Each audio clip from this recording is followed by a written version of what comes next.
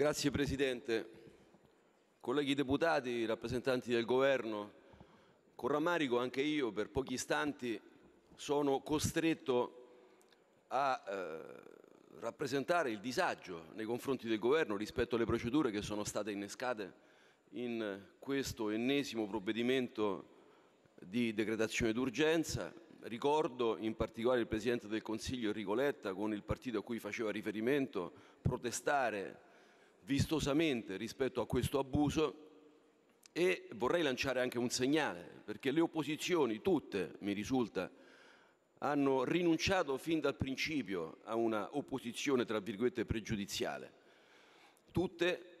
hanno dichiarato viceversa la loro disponibilità a entrare nel merito dei provvedimenti, a migliorare i provvedimenti, a fare il proprio lavoro e ovviamente a contrastare il governo laddove i provvedimenti che vengono calati fossero antitetici rispetto alle proprie sensibilità e alle proprie convinzioni. Dunque non sciupiamo, come è stato fatto nelle precedenti legislature, questa disponibilità. Cerchiamo di attivare in maniera sperimentale un rapporto virtuoso tra maggioranza e opposizione, tra governo e Parlamento, che preveda il diritto d'accesso alle discussioni, alla partecipazione ai, alla composizione dei provvedimenti e quindi magari per il futuro cerchiamo di evitare ultimo appello, che un decreto possa permanere nell'altra aula per un tempo eccessivo, tale poi da tornare alla Camera con poco tempo a disposizione per metterci le mani, quindi con relativa mortificazione del Parlamento stesso e delle forze che lo compongono. Però io vorrei dire, siamo in dichiarazione di voto sulla fiducia, Fratelli d'Italia non fa parte del Governo, manifesta la sua contrarietà a questa fiducia. Però vorrei dire attenzione, perché al di là del merito del provvedimento su cui interverrà un collega di Fratelli d'Italia in dichiarazione di voto più tardi, sulla fiducia noi ci attestiamo e confermiamo la nostra contrarietà a questo governo perché ci sembra che tutti i nodi siano rimasti esattamente lì dove li avevamo lasciati. Questo governo ci risulta, questa questa è la, la fisionomia che appare, che campia la giornata, che non abbia un obiettivo strategico, che non riesca a delineare un percorso tale da affrontare e portare a soluzioni le criticità con cui l'Italia si va dibattendo ormai da diversi anni. I consumi non crescono, la disoccupazione e soprattutto quella giovanile aumentano, la recessione rimane un fatto compiuto e nelle previsioni proiettate di qui a qualche anno non si modifica in maniera sostanziale. Il rapporto con l'Europa, ecco parliamone, parleremo in vista del Consiglio d'Europa del 28 giugno più diffusamente, ma il rapporto dell'Italia con l'Europa è un rapporto che va profondamente rinegoziato. Perché non possiamo pagare noi, e qui davvero andrebbe fatto un processo alla Prima Repubblica, le distrazioni piuttosto che l'instabilità costante di quei governi che duravano mediamente in carica otto mesi e che non riuscivano a farsi rispettare in Europa, per cui si vedevano risorse, opportunità dell'Unione Europea di cui siamo fondatori andare in buona sostanza e prevalentemente verso i paesi del nord Europa. Ecco, dico possibile che non ci sia l'energia per poter affrontare con vigore, con determinazione quello che risulta allo Stato un problema serio non si possono mandare a fasi alterne, come se il governo fosse un'agenzia di viaggi, propri rappresentanti in Europa senza mai porre la questione centrale. Possibile che non sia chiaro? Che so, faccio degli esempi perché voglio essere concreto. Siamo uno dei due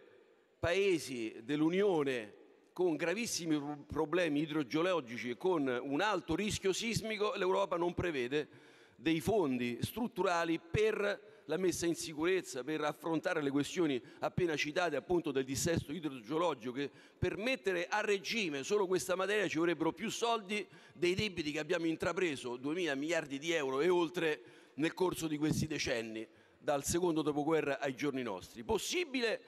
che non si riesca a far rispettare questa esigenza, che è un'emergenza, oppure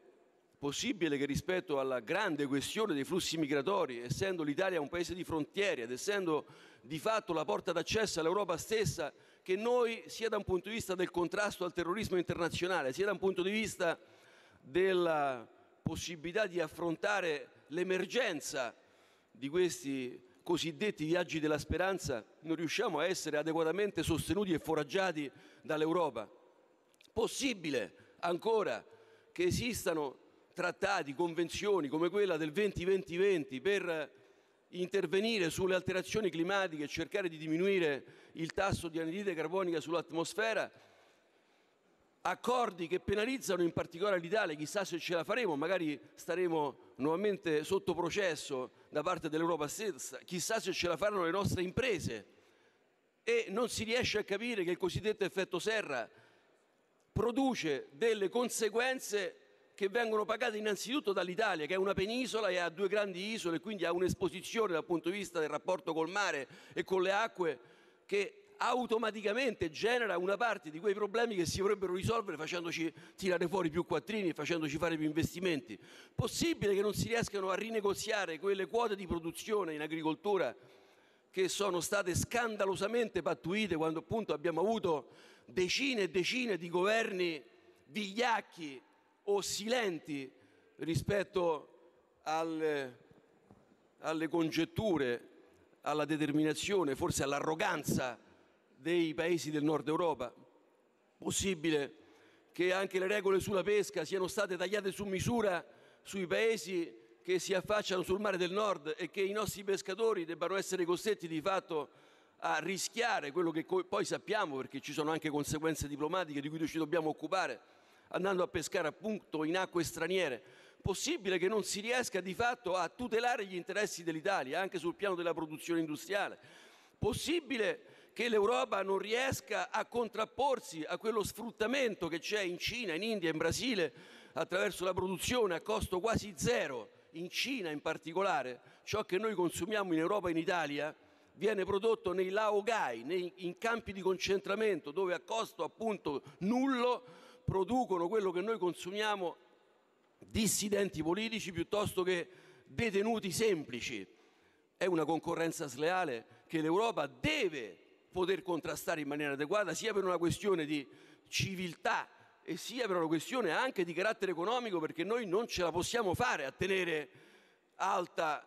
la nostra competitività rispetto a chi produce sfruttando anche il lavoro minorile nelle ore del giorno e della notte, allora l'Europa ci deve stare sempre e comunque. Questi argomenti non sono più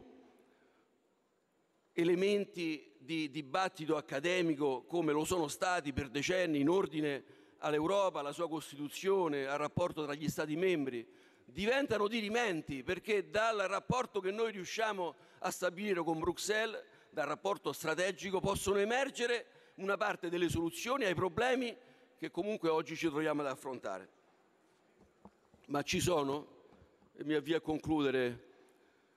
colleghi deputati, rappresentanti del governo, delle questioni che invece sono perfettamente annodate intorno alle competenze e ai poteri del governo.